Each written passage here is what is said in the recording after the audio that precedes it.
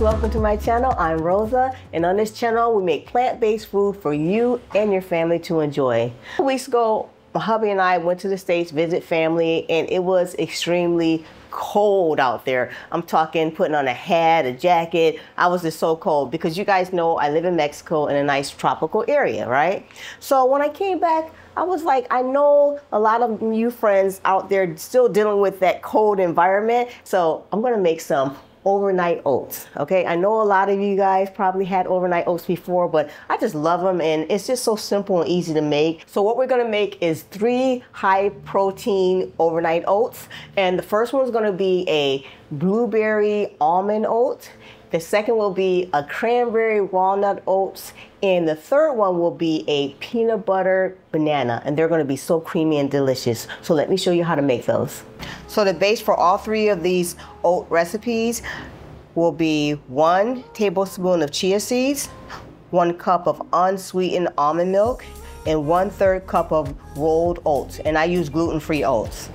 So now I'm gonna go ahead and add in the almond milk, the chia seeds, and the oats.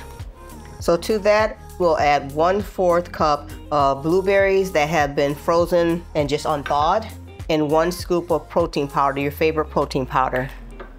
So my favorite protein powder is Sunwarrior Lean Protein Powder, and this is a vanilla base, and it's a plant based, so it's really delicious, guys, because I found that a lot of these protein powders are plant based. It tastes a lot like that peas, you know how to use that pea protein. This one is super balanced. It has veggies in it, fruits in it, and just all kinds of seeds, so definitely try this one. So then you pop it in a blender and just get it all blended up.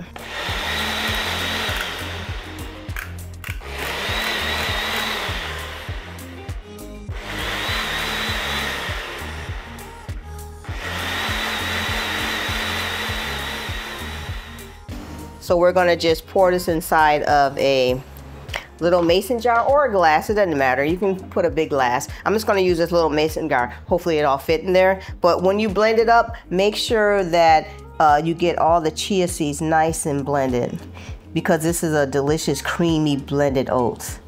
Oh, that's perfect. There you go. And what we're gonna do is after we pop it in the fridge overnight, once we pop it in the fridge overnight, when it's done, we'll just top it with more blueberries and that almond butter and some almond butter. yeah, I'll show you that tomorrow. Okay, so now we're gonna make our cranberry walnut oats. So what we're gonna do is add that milk. Just, we're just gonna do our base like we did the first time. All right. And to that, we're gonna add one fourth teaspoon of cinnamon. And we're gonna add our scoop of protein powder the lid on.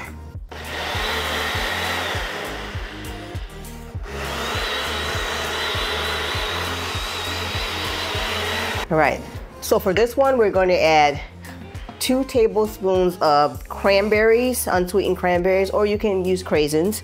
And we're going to add two tablespoons of chopped walnuts to it. But what I'm going to do is just mix it in real fast in here. So I'm just gonna throw it in there and look how that looks. It's so creamy. It's gonna be thick and rich tomorrow too. I love these, delicious. I'm gonna just throw them in there. Just mix it up a bit while it's in there, right? So that I don't have to mix it up in the jar because that's kind of, gets kind of messy, all right? And then we're gonna pour it into the jar.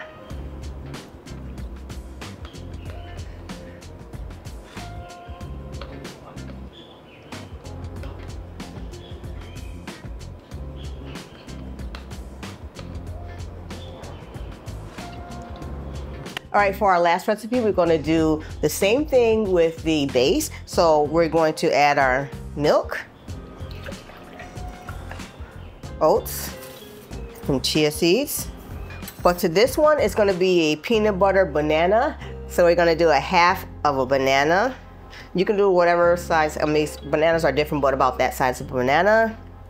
And we're going to add that scoop of protein powder and a tablespoon of peanut butter. And I use natural peanut butter with no sugar.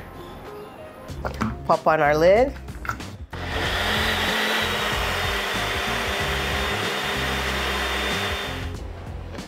Mmm, it's gonna be so good. Yum. Yeah.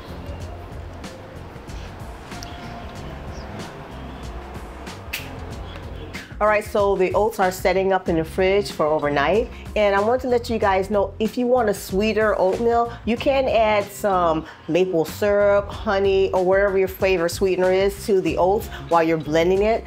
And um, I just like to have the bananas or the cranberries or the fruit kind of like to give me that sweetness because I don't like super sweet oatmeal. All right, guys, so I will see you guys in the morning.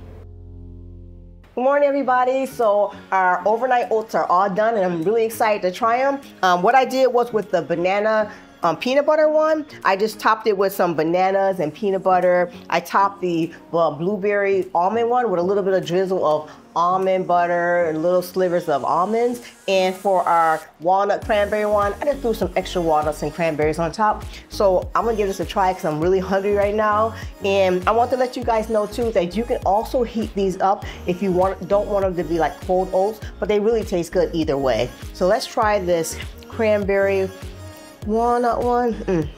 Try to dig into the bottom of that. Ooh. It's so thick. Look at this. Look how thick and rich that is. Super thick. Look. it's so thick and um, it can't even fall off the spoon. Let's give it a try. Mmm. Mmm. Man, that's good. Mmm, it's creamy, rich. Mmm. And you know what? Those cranberries that I mixed inside of it, gave it more sweetness. And I know I said you guys can add more sweetener to it, but absolutely delicious. You don't even need it really. So I think you should give this one a try for sure. And if you like videos like this, definitely subscribe and give this video a thumbs up if you think you're gonna try to make this one, all right guys? So I am Rosa and I will see you on the next video. Bye guys.